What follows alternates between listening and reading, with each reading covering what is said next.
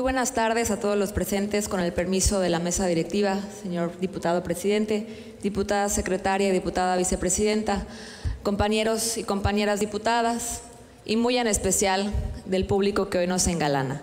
Le doy la bienvenida especialmente a la preparatoria modelo como parte del programa de visitas estudiantiles que tiene el Congreso del Estado. Me da mucho gusto que estén aquí en un día además de mucha productividad porque bueno, si hoy estamos aquí nosotros es precisamente para sentar las bases de un mejor futuro para ustedes. Visionen cada una de estas 25 curules y si somos un buen ejemplo para ustedes, visionense aquí que estas curules les estarán esperando para al igual que nosotros trabajar con amor por un mejor Quintana Roo.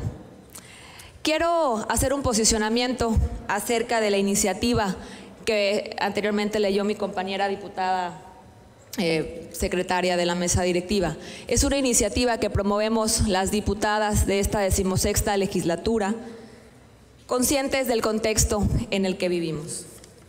En el estado de Quintana Roo transitamos por una declaratoria de alerta de género.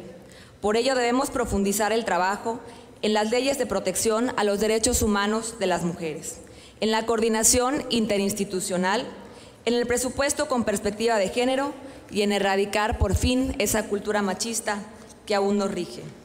La democracia nos eligió y es momento de corresponder, alzando como estandarte la defensa y la reivindicación de los derechos de las mujeres.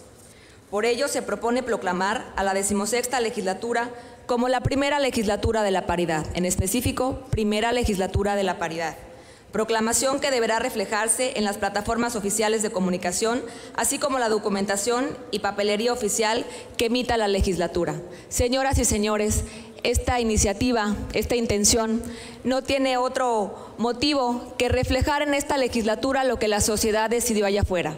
La sociedad decidió que de las 25 personas que hoy representemos, estamos representando al pueblo de Quintana Roo, 13 fueran mujeres. Queremos que esta legislatura lleve ese sello femenino y esa perspectiva de género, con la única razón de brindarle mayor igualdad de oportunidades en la vida que día a día viven mujeres y niñas en este Estado. Le agradezco sinceramente a las diputadas que participaron de esta eh, iniciativa en una primera etapa, que son la diputada Iris Mora Vallejo, la diputada Lili Campos, la diputada Cristina, la diputada Judith, la diputada Linda, la diputada Paula, y le hacemos una cordial invitación a todas las diputadas, porque además, bueno, esta iniciativa se presentó la semana pasada, por eso hoy está en pleno, pero estoy segura que se sumarán todas las diputadas de esta legislatura y los diputados también. Señor presidente de la Junta de Gobierno y Coordinación Política, le pido de la manera más atenta nos ayude en conjunto con los coordinadores de todas las fracciones parlamentarias a que esta legislatura sea esa, la legislatura de la paridad, esa primera legislatura de la paridad, que pase a la historia por esas leyes que lleven ese sello con perspectiva de género. Muchas gracias por su atención. Buenas tardes.